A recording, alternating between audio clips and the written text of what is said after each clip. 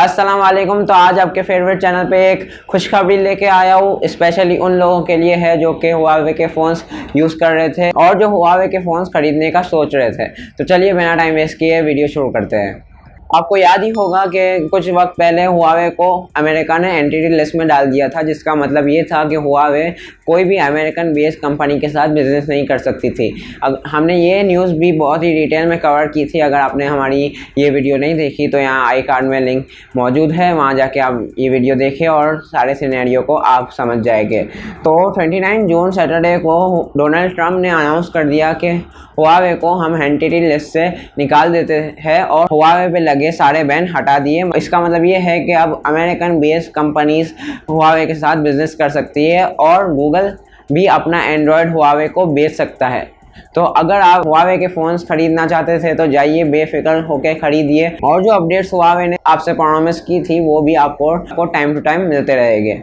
तो रीज़न क्या है इसके पीछे कि अमेरिका ने ये सब कदम उठाए और पहले बैन किया, फिर अनबैन कर दिया हुआवे को। तो मुझे लगता है कि जैसे कि आपको पता है कि हुआवे अपना खुद का ओएस लॉन्च करने वाला था आर्क ओएस नाम वाम सब कुछ सेट हो गया था और शायद अगले मोबाइल में वो ये ओएस डालने वाला था और सारी मैन्युफैक्चरिंग भी खुद करने वाला था और रिसर्च के मुताबिक हमारे सामने आया है कि आर्क ओएस जो था वो 60 परसेंट एंड्रॉयड से ज़्यादा तेज़ था।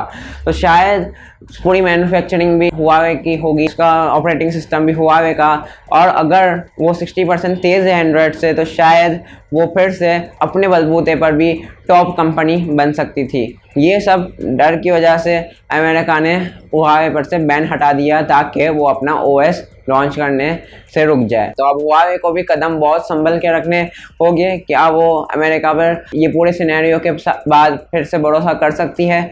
अब देखते हैं हुआवे क्या करती है और अमेरिका और जो चाइना के बीच में जो टसल है इकनॉमी की टसल वो कौन से मकाम पर जाके ख़त्म होती है? और इसके साथ ही अमेरिका के प्रेसिडेंट ने, चाइना के प्रेसिडेंट के साथ कुछ ना कुछ निगोशिएशन भी किए हैं, जो कि उनकी कंट्री के लिए ज़रूरी थी। हम उस पर ज़्यादा बात तो नहीं करेंगे, लेकिन मैं आपको इतना बता दूँ कि इस बैन को हटाने में भी अमेरिका का कुछ ना कुछ फ़ायदा हो रहा था, इसलिए ही अमेरिका ने इस बैन को हटाया। तो चलिए आज की वीडियो में बस इतना ही। अगर वीडियो पसंद आई हो तो लाइक कर दीजिए, अपने दोस्तों के साथ भी शेयर कीजिए। और कुछ बातें हो तो कमेंट कर सकते हैं।